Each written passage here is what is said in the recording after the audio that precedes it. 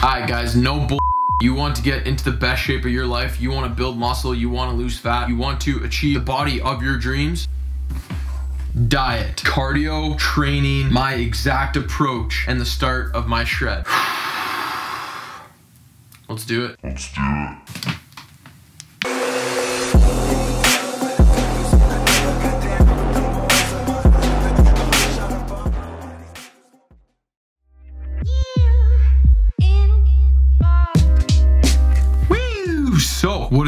Guys? Welcome back to the channel. Thank you for tuning into this one. And uh, we got a big, big, big video coming today. And I hopefully don't make this 30 minutes long. I don't really know because I'm filming it right now. Anyways, I'm going to be going over literally everything you need to know to pretty much like achieve your dream physique. Is that a question? Is that a is that a statement? I don't know. But in this video, you're going to find out pretty much exactly what you need to be doing in terms of your diet, your cardio, your training, just your overall life in general and your mindset to actually get to that next step to build muscle to lose fat or whatever your goal is okay? So within the diet we're to be going over literally everything from calories to macros cardio when should you adjust and your training what should your training split look like and just how my training looks like as well as my exact starting point for day one of my current summer shred okay? I know it's gonna be a lot and uh, don't don't mind the dirtiness of uh, the bed here.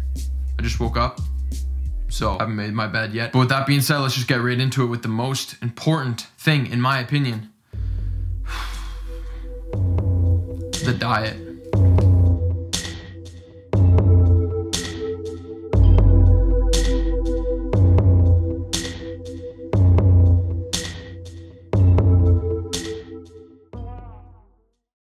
First off, in terms of the actual diet, I'm gonna go into the technical side of things, so your calories, your macros, everything like that, and then actually adhering to your diet to make sure you can actually hit your diet and you can actually like stick to it over the long term because that is the ultimate goal. If you can stick with it over the long term, your results and your progression will 100% show in not only your body but also your mind and like how you're actually sticking to your diet plan. So, bam! You didn't think I could pull out this bad boy, eh? Yeah.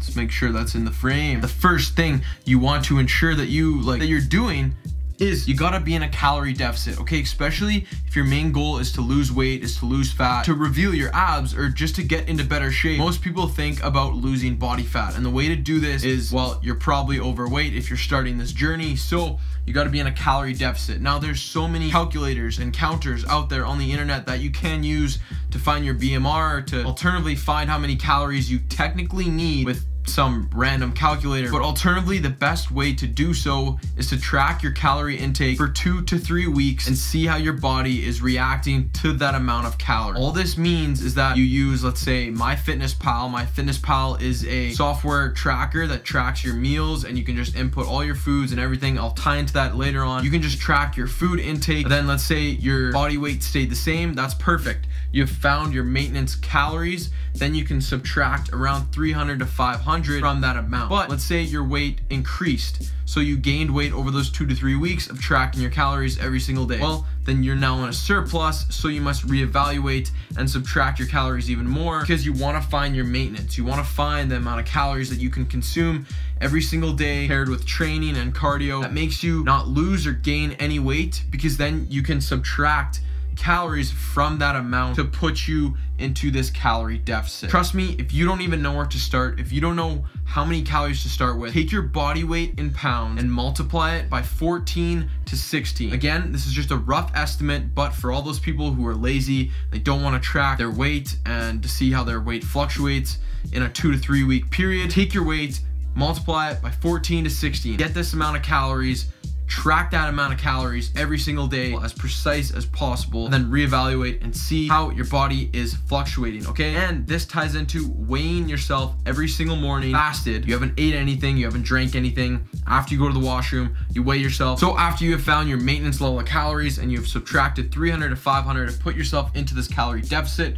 Now you want to set your protein intake. Now for every single individual, this will be different. For a rough estimate, 0.8 to 1.2 grams per pound of body weight. So if you're 180 pounds, if you stick this right in the middle, one times 180, you should be having 180 grams of protein every single day. Again, just a rough estimate. Don't overcomplicate things because when you start to overcomplicate things, that's when you can fall off the wagon and you don't actually adhere to your diet. So let's just set that number, all right? Now, in terms of your carbs and your fats, this will ultimately determine what you like to have more. If you like more carbs in your diet, have more carbs in your diet. If you like more fats, have a higher fat diet. It's totally up to you. It's totally up to your personal preference and your lifestyle. Now, you don't have to go completely low carb and you shouldn't honestly go low fat because that's just bad for your hormone levels and you just need it for overall health. So I would recommend just having a balanced diet. Just having a balanced diet, let your carbs and your fats fluctuate and just hit your calorie amount.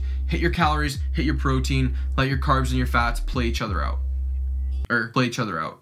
Work work themselves out. Would that be right? I don't know. Either way. But alternatively, you will want to make adjustments every time your weight loss or your fat loss plateaus or stalls. So this is usually around three to four weeks. So every three to four weeks, decrease your calories by 100 to 200 calories. Again, this will be depending on how much cardio you're doing. When we talk about cardio, I'll talk about that as well kind of go over both sides of the spectrum. Now, if we're talking about supplements really quickly, only supplement when necessary. Use a whey protein if your protein intake for the day is lower than usual, because I guarantee it 95% of you who are watching this video are not hitting their protein take every single day because they're not getting in enough real quality whole food to hit their protein intake. So just supplement when necessary.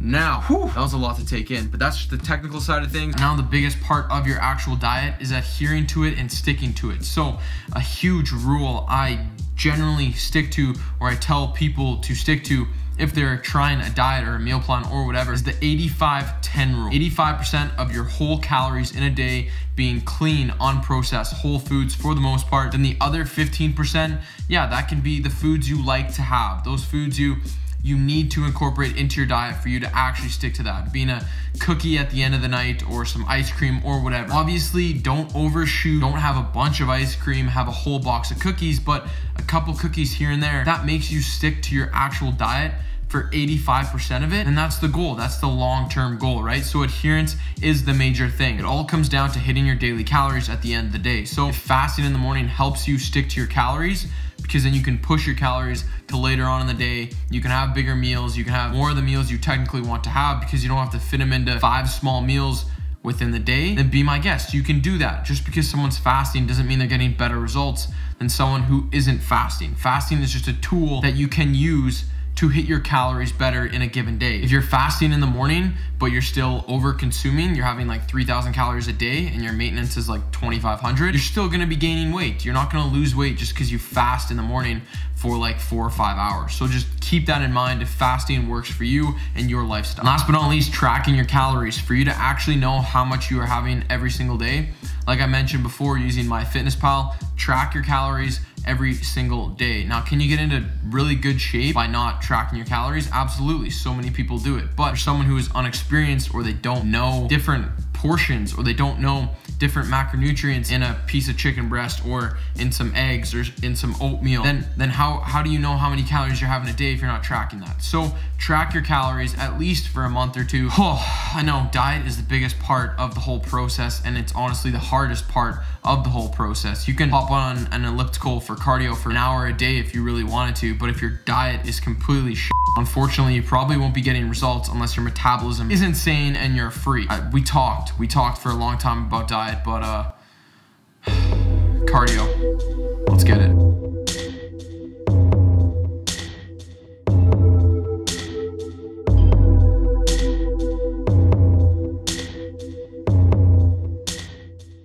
Now cardio, do you have to do cardio? Like actually see results, to actually lose body fat, do you need to do cardio?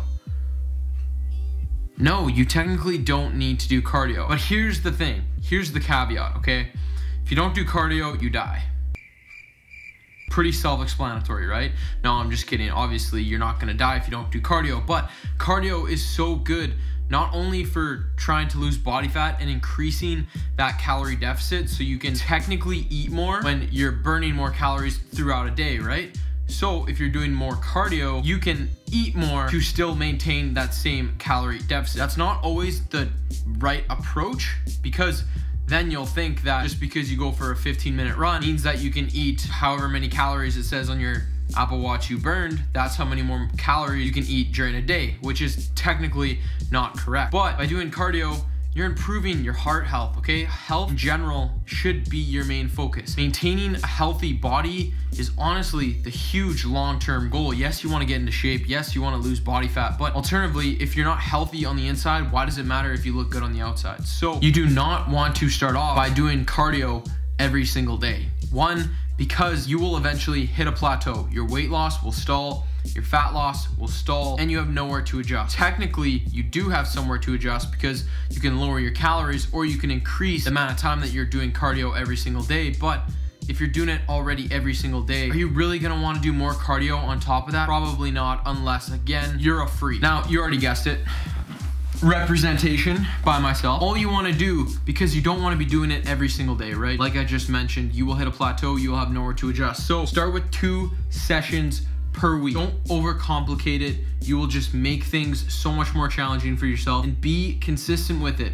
Consistency is the biggest thing with all of this. If you're consistent with it, cardio, it won't even matter because you'll be so on top of it every single day. But anyways, start with two sessions per week, either by tracking time or calories burned. Now, this won't always be consistent, but this is where I mean to consistently be inconsistent. Does that make sense? Here's how it goes. If you're tracking the calories burned on your Apple Watch, for an example, of you going for a 30 minute run. If the amount on your Apple Watch says 300 calories burned, obviously that's not gonna be accurate. The Apple Watch is not that accurate. Like, it barely anything in this world is accurate. Just, that's probably a lie. That's, that's probably a lie. Anyways, if you are burning 300 calories doing a run three times per week, eventually when you hit a plateau, and you have to adjust, you would try and increase that 300 calorie mark. So what I mean by this is just tracking the time or the calories burned if you're using your Apple Watch.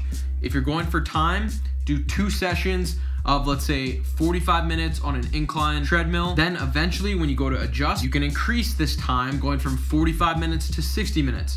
And maybe now you don't wanna only do two sessions of 60 minutes per week. Well then split it up into three sessions where you're going, let's say 40 minutes, 40 minutes, 40 minutes. So you don't have to just increase the sessions from two to three. You can just increase the time that you are doing within those sessions or increase the calories burned. Again, just be consistent with whichever measurement you personally like to use. The biggest thing about cardio is adherence, okay? If you can't stick to your cardio routine or your daily routine, of doing cardio, then what's the point of even doing it if you absolutely hate it? Like obviously cardio, it's not gonna be fun all the time. You're not gonna wanna wake up I don't know, go on the treadmill for however long, go for a run or whatever you like to do, but adherence is the biggest thing. So cardio can be anything. Cardio can be biking, walking, rowing, going for runs, doing interval training, doing HIIT circuits, whatever you want it to be, or even playing sports like basketball, going for long walks or whatever it may be. Okay, so adherence is the biggest thing. Now on top of your actual cardio, I totally always recommend walking at least 10,000 steps per day because this will increase your non-exercise activity thermogenesis or your NEAT. So this is just the calories you burn throughout a given day besides doing your actual training and your cardio. So I would consider 10,000 steps per day even though it's cardio. You're walking, that's cardio. But you're just increasing the amount of activity you're doing during the day by moving more through whatever whatever you're doing during the day. Washing the dishes going for a walk. It doesn't matter. You're trying to increase your NEAT now when should you adjust your cardio? Well if you start with two sessions per week of 45 minutes let's say you're going for time as soon as your progression stalls meaning your weight loss or your fat loss it, it the weight is not moving on the scale every single morning. Then you can add more time, like I just mentioned, or add more calories burned to the amount of calories that you are already burning in a given week. If your progression stalls in, let's say, two to three weeks, then that is when you adjust your calories and your cardio. You can either adjust your calories or your cardio. So you can either increase the amount of sessions you do in a given week or increase the time and the calories burned, or you can lower your calories from your diet. Or you can actually do both where you lower your calories by let's say 100 and then you increase the time, let's say from 60 minutes during the week to 80 minutes during the week just as an example, okay? Now, alternatively, what you want to be doing is you want to be doing the least amount of work possible to still get results. This might seem like stupid to you, but if you are only doing one cardio session per week, because you're not used to doing cardio every single week and you implement it into your program, into your plan. You only have to do one to two cardio sessions per week and the scale is continually dropping. Your weight is continually dropping week after week. Stick with that until your weight plateaus and you are no longer losing weight anymore. And then that's when you actually make adjustments, okay? Don't make adjustments too soon or don't make adjustments at all if you don't need to, right? So, yeah, that's cardio. Is it fun? It can be, but is it actually fun? No. Just do your damn cardio, okay? It'll help you in the long run. Just do it. Now, training. Let's do it.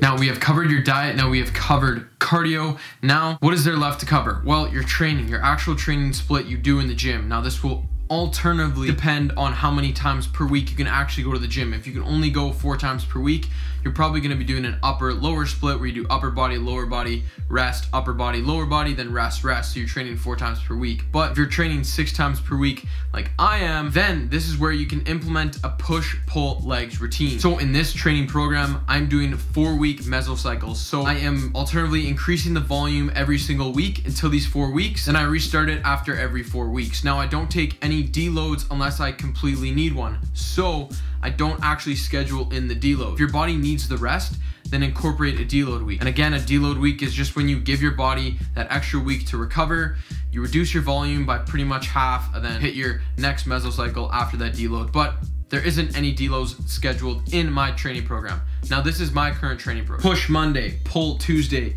Wednesday is legs, Thursday rest, and then push pull legs again. The first push workout will be chest focused. The first leg workout will be more squat focused, so I am working on my quads more. Second push workout will be more shoulder focused, and then the second leg workout will be revolved around deadlifts. Now, when I say squat focused or deadlift focused, I'm just basing my whole workout around my squats and my deadlifts. That's pretty much all I mean by that. Now, for an example, for day number one of my push workout, because it is chest focused, I am putting a lot of emphasis on the bench press and my incline press. Then I will be going straight into shoulder press, then incline press, lateral raise, chest flies, and then finishing off with a tricep isolation, being tricep pushdowns. Now again, the exercise selection, it doesn't matter as much, but I do try and keep it consistent throughout a four week mesocycle. So I will typically start with the bench press on day one of my push day for week one, two, three, and four. Then I will do three by eight, three by nine, three by 10, then four by eight. So I'm increasing the volume every single week. That's three sets of eight reps, three sets of nine reps, three sets of 10, and then four sets of eight reps. Now, can you go with more sets and lower reps? Yes, that's totally fine. Just remember that you have to equate volume if muscle building is your main priority. And in this case, I like to keep rep range generally a bit higher. It's safer for one, and for two, you're creating more time under tension because you're doing more reps rather than let's say you do a four by five where you're doing four sets of five reps. The volume is almost the same, but you are doing one more set and you're doing lower reps. So the time under tension is less. So you just got to keep that in mind. So by the end of week four, I'm trying to add anywhere between 2.5 to even five pounds to my bench press or even higher depending on how much I'm eating and how my body is honestly reacting. Again, the same will be done with the shoulder press and the incline press going 3 by 8 3 by 9 3 by 10 and then going back down to 4 by 8 and trying to get more weight than I have previously used in week number one. And then again, I will repeat that cycle every four weeks. If I need to take a deload, I will as well. As soon as we get down to lateral raises, chest flies, and tricep pushdowns, now I'm focusing more on the higher rep range. So I'm going between 12 to 15, and this is gonna be consistent throughout all four weeks, being weeks one, two, three, and four. Just because I say 12 to 15, most likely in week number one, I'll be doing 12, and then I'll try and increase the amount of reps I do every single set for the following weeks after that. If I get 3 by 12, I want to get at least 3 by 13 or 3 by 14. So I'm increasing the volume, I'm increasing the reps. If I'm increasing my volume throughout the four weeks, that is the main goal of your training program so that you can properly progressively overload every single week. Now that is only day one of my push day. I will have the full training program in the description down below if you guys want to copy it. I just wanted to go over day one to give you an example of how the volume increases every single week and how I go about every single mesocycle. But yeah, That's training. All right, guys, now some things I may have missed. Micronutrients, just eat your micronutrients, eat your greens, eat your vegetables, eat your fruits. Like they're good for you. The, the sugars within the fruits, there's nothing wrong with those. Just because you're having those sugars doesn't mean you're gonna get fat. Overconsumption of your calories will make you fat, okay? Eat your micronutrients, they're good for you. Cheat days or refeed days, can you have cheat days? Yes, you can. I wouldn't really call it a cheat day. I would call it a cheat meal. But if you need to have a cheat meal to stick to your diet, then plan a cheat meal every Sunday night, every Saturday night. Raise your calories back up to maintenance for that day. If it helps you stick to your diet, if it makes you adhere to your diet, then that will make you actually stick to it over 12 to 16 weeks or however long you're going for the cut. Incorporate cheat meals if you want to. Don't go and binge every single night just because I told you you could have a cheat meal. You don't need to do that. Or you can also have refeed days when appropriate. Now, you can literally have one every so often or one every week or one every two weeks, depending on how your progress is going. But a refeed day is pretty much a controlled cheat day where you're increasing your calories back up to maintenance, usually just from carbohydrates. So let's say your maintenance is 2,500, you're currently having 2,000 calories every single day. Have a refeed day where you return to maintenance or 2,500 calories just for that one day, and then you continue eating 2,000 calories for the rest of the week. Now, duration. How long should the cutting phase or your fat loss phase last for? This will depend on the individual and how much time they want to be in a calorie deficit, but you don't really want to go for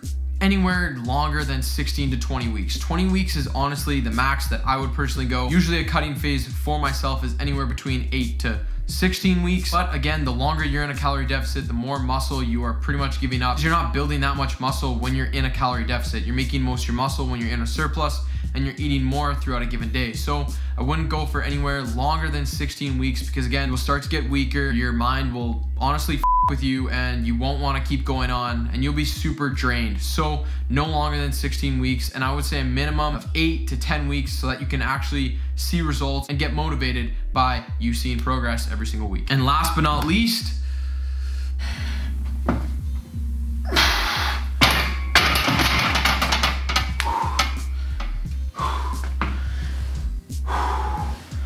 your goals. None of this matters. Your cardio, your diet, your training, none of, none of this matters. You don't have goals. If you don't set, if you don't have ambitions to achieve different goals in your life, whether that be work, training, like getting into better shape, it doesn't matter. What's the point of even starting a transformation? What's the point in busting your ass every single day? You don't have a goal. If you don't, if you don't have that end goal you want to hit, because yeah, maybe we'll, you'll never get to that end goal. If you have that in your head, if you have that mentality that you are striving, you, you are working towards that. That will push you like no other every single day. You gotta put in the work if you wanna actually like get somewhere within your dream physique, within anything you do in your life. Like I'm just very, very grateful to be able to even train every single day and better myself. Like that should be your motivation. If you can go to the gym and you can physically work out, that's a blessing. That's a blessing to be able to work out, to try and better yourself every single day. Like there's so many people in the world who wish who wish, who honestly would pay millions of dollars to be able to work out every single day and be healthy and fit and eat good food and train. So just be grateful. Be grateful for that. Let that be your motivation, okay? So with all that being said, guys, I literally, I,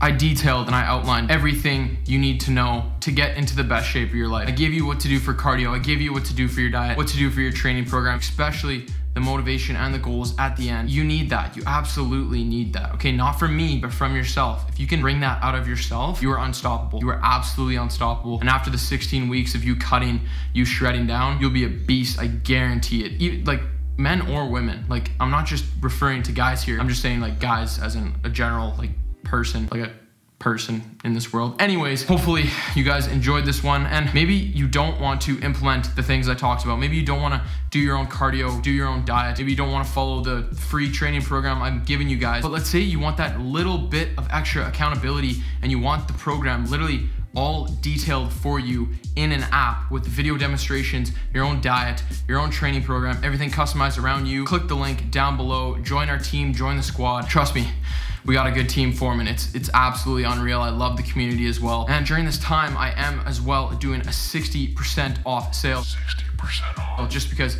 me myself i am starting day one of the shred of the same program that everybody else is going to be running. So yeah hopefully we can make some gains together. With that being said guys i appreciate you guys so much for tuning into this one. If you enjoyed it please give it a thumbs up subscribe if you haven't already and i will see you guys in the next one. All right. Peace